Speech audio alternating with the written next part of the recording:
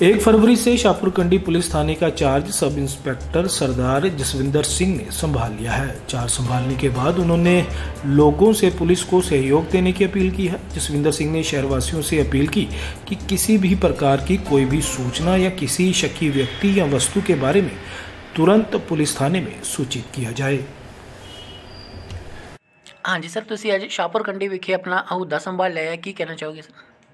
SSP ਸਾਹਿਬ ਸਾਹਿਬ ਦਲਜਿੰਦਰ ਸਿੰਘ ਢਿੱਲੋਂ ਸ- ਪਠਾਨਕੋਟ ਸਾਹਿਬ ਵੱਲੋਂ ਸਾਡੀ ਬਦਲੀ ਕੱਲ੍ਹ ਕੀਤੀ ਗਈ ਤੇ ਕੱਲ੍ਹ ਹੀ ਇੱਥੇ ਚਾਰਜ ਸੰਭਾਲਿਆ ਥਾਣੇ ਸ਼ਾਹਪੁਰ ਕੰਡੀ ਬਤੌਰ ਐਸਐਚਓ ਤੇ ਛੋਟੀ ਛੋਟੀਆਂ ਮੀਟਿੰਗਾਂ ਵੀ ਕੀਤੀਆਂ ਪਬਲਿਕ ਦੇ ਨਾਲ ਤੇ ਉਹਨਾਂ ਨੂੰ ਅਸੀਂ ਪ੍ਰੇਰਿਆ ਵੀ ਸਾਨੂੰ ਦੱਸੋ ਜੇ ਕੋਈ ਮਾੜਾ ਅੰਸ਼ ਤੁਹਾਡੇ ਕੋਈ ਨੋਟਿਸ ਆਉਂਦਾ ਤਾਂ ਸਾਡੇ ਨੋਟਿਸ ਵਿੱਚ ਲਿਆਓ ਤਾਂ ਕਿ ਜੋ ਗਲਤ ਅੰਸਰ ਹੈ ਜਿਹੜੇ ਆ, ਉਹਨਾਂ 'ਤੇ ਕਾਬੂ ਪਾਇਆ ਜਾ ਸਕੇ ਤੇ ਨਾ ਹੀ ਕੋਈ ਗਾਂ ਤੋਂ ਲੋਕ ਸ਼ਾਂਤੀ ਨਾਲ ਜੀਣ। ਤੇ ਅਮਨ ਮਾਨ ਇਲਾਕੇ ਦੇ ਲੋਕਾਂ ਨੂੰ ਸਰ ਕੀ ਅਪੀਲ ਕਰਨਾ ਚਾਹੋਗੇ? ਇਲਾਕੇ ਦੇ ਲੋਕਾਂ ਨੂੰ ਮੇਰੀ ਇਹੋ ਅਪੀਲ ਆ ਵੀ ਕੋਈ ਤੁਹਾਡੇ ਨਾਲ ਕੋਈ ਵੱਧ ਘੱਟ ਕਰਦਾ ਕੋਈ ਤੁਹਾਡੇ ਨਾਲ ਕੋਈ ਠੱਗੀ ਕੋਈ ਹੈਰਾਫੇਰੀ ਕਰਦਾ ਸਾਡੇ ਨੋਟਿਸ 'ਚ ਲਿਆਓ। ਜੇ ਕੋਈ ਨਸ਼ਾ ਵੇਚਦਾ ਉਹਦੇ ਬਾਰੇ ਸਾਨੂੰ ਦੱਸੋ ਤਾਂ ਕਿ ਉੱਤੇ ਕਾਨੂੰਨ ਅਨੁਸਾਰ ਕਾਰਵਾਈ ਕਰਕੇ ਤੁਹਾਨੂੰ ਜੇਲ੍ਹਾਂ 'ਚ ਭੇਜਿਆ ਜਾਏ। ਨਮਸਕਾਰ।